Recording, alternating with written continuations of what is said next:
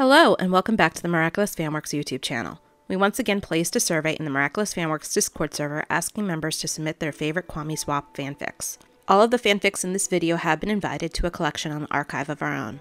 The link to the collection can be found in the description below, as well as a link to the Miraculous Fanworks Discord server. Before we get started, do you like how we're doing? Let us know by hitting the like and subscribe buttons below. Comments are also very much appreciated. Number 10 A Different Set of Miraculous Circumstances by Melty Macaroni. Viperion has faced many a battle against Cat Blanc, with no backup. Finally, he is granted a partner, Multimouse. But how will Marinette Dupain-Cheng fare against such a terrifying opponent? And why are both superheroes and supervillains dropping in on her civilian identity for croissants and hot chocolate? Alternate universe where Luka is Viperion and Marinette is Multimouse. Adrien is Cat Blanc, yo. Number 9. Send Me an Angel by Chaotic Neutral. Adrien was Cat Noir, a lone hero forced to face off against the Ladybug Miraculous to protect a divided city that hated him. He was stuck fighting alone and only feeling more and more dragged down with each day and every battle that he ended up being blamed for. Until suddenly help started appearing in unexpected ways through the machinations of an unknown party only deemed as an angel or the lady. And while he doesn't know what to think at first, he can't deny it, things do seem to be getting better. But is she friend? Foe? And when things are at their bleakest, will he be willing to make that leap of faith? Number 8 The Adventures of Lady Luck, Book 1 by Cornerverse. Lady Luck is the new hero, chosen to fight alongside Cat Noir and save all of Paris from the evil Hawkmoth. Only problem? Lady Luck isn't the best person outside of the costume. Perhaps, through becoming a hero and getting encouragement from some friends, she'll be able to fix that. Basically, an alternate universe scenario of what if Chloe was given the Ladybug Miraculous instead of Marinette? Number 7 Nino Lahiffe and the Road to Forgiveness by Ryoku Go. I hope I said that right. The veil has been lifted, the fog of lies dissipated. Well, for one person at least, Nino Lahiffe. And he wants to make amends with Marinette, but it's not going to be as easy as smoothing things out like the cream of a macaron. Marinette's heart was big and would always have space for her childhood friend Nino in it. But his choice to initially ignore her words had hurt. Bad. Kagami didn't trust the boy with the red cap and the worn out headphones, but Adrien seemed to hold out for him, so she would trust his judgment. But she would keep an eye on him for Adrien and Marinette. And maybe that involved being around him for more than necessary, and becoming his friend. He had a lot of work to do if he wanted to follow the road to forgiveness. An alternate universe born out of salt and a craving for a rare pair. It's not necessarily in direct chronological order.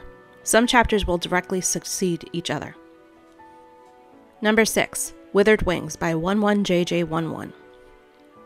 Nino wasn't sure if anyone had ever willingly took the Akuma butterfly before him, but with his mind completely open to this apparent son of Hawkmoth, he knew that he couldn't turn him away. Not someone that was so afraid, not someone who would be left at the mercy of Hawkmoth. Number 5 Not a Good Look by Angel of the Queers, in which Marinette, Adrien, and their friends accidentally stumble on secret identities galore through the implications of a grown man making a deal with a teenage girl. AKA, Gabriel's deal with Lila comes back to bite him where it hurts. Number 4 Echoing Balance by I'm the Punch Lord. There's a great beauty in balance. Even if there are changes, some things will always stay the same, no matter what. Before we get into our top three, let's have some honorable mentions to the stories that did not make the top 10. Stitches and Stutters by Inky Coffee. It had been an accident. On his way home from patrol, swinging his way across the rooftops, he just so happened to pause for breath directly across the road from the Dupain-Cheng Bakery. And he just so happened to look directly across at Marinette's balcony just as Lady Noir landed and called out, Claws in, leaving Marinette. In which both Adrien and Marinette are stuttering messes, Nino is there for his own entertainment, and Alya is along for the ride. I'm not the one who's so far away when I feel the snake bite enter my veins by Sagan's Jagger. When Marinette Dupain-Cheng accepted the Mouse Miraculous from Cat Noir and Ladybug to stand in as a new hero, Marinette expected that scurrying around the city would be fun. It would be easy, even if parts of the hero business weren't safe. What she hadn't counted on was how incredibly sexy her new partner was. What she hadn't counted on was Viperion, welder of the Snake Miraculous, staking a claim on her the second time they met. He liked to stalk her around Paris on the nights they ostensibly met up for patrol, intent on devouring her. What she hadn't counted on was how much the chase and fear would excite her. The First and Last Akuma by Anabear 2803. What happens if Hawkmoth sent out his Akuma just a little earlier to a girl who didn't want to have to start her first day of school? Sharks and Sugar by Fragile Izzy. Mr. Bug's greatest downfall would be Marinette's eyes. He hoped Noir could forgive him for that. Adrien's greatest downfall would be Lady Noir's smile. He hoped Marinette could forgive him for that. In which Lady Noir keeps coming into Adrien's room after Akuma attacks and he just lets her. Which is fine, really. He's more focused on other things, like Marinette, a sweet, kind, wonderful classmate who he just can't seem to talk to without stammering.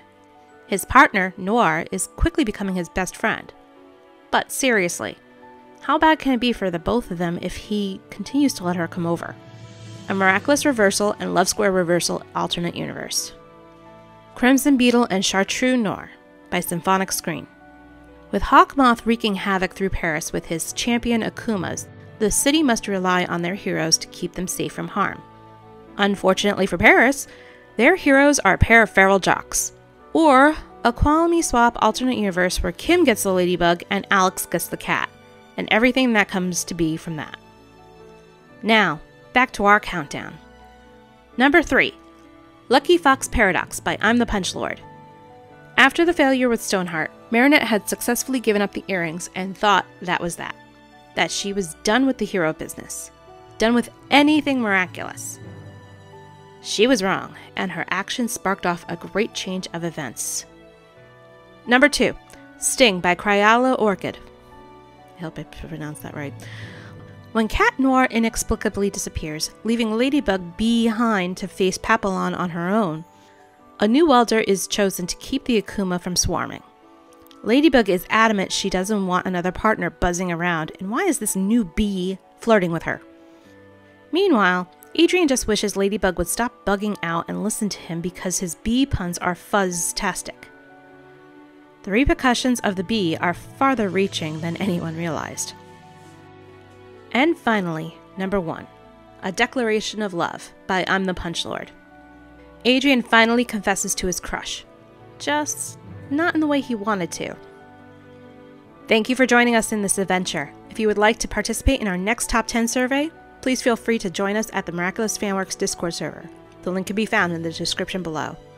Thanks for watching and have a miraculous day. Want exclusive insights into upcoming server events and news? How about access to our VIP channel and a special role on the server? Or maybe a physical copy of a vinyl sticker sent to you each month? Interested? Check out our Patreon for more information. And don't forget to stay miraculous.